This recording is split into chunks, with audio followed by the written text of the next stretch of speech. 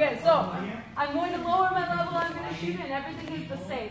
But I'm not going to pinch the leg with my knees, I'm going to bring the leg up to my armpit. On the inside, so this is the outside, this is the inside, right? This is where the rest of her body is.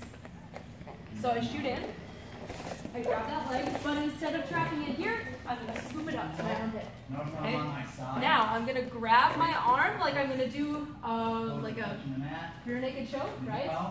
And I grab the top of her knee. Now I'm going to make her hop a little bit. Okay, this is a hard fall, so be careful. And when my partner hops, I'm either going to drop her because she's hopping with her leg way up high, or I'm going to stop her with my foot over here. Okay? So it's going to be one of those two things. I turn her, and she falls. Okay? Or I do the other one. Okay? Maybe she's got really good balance. So for my knee to come up, like this. So scoop it up. I might have to cinch it up way up high so that I can reach because I've got T-Rex arms. Okay, my arms are a little short. Get my clothes. Turn. See my hand? Turning. Okay. Turn. Now I'm going to block her hop with my foot. Okay. Any questions about that?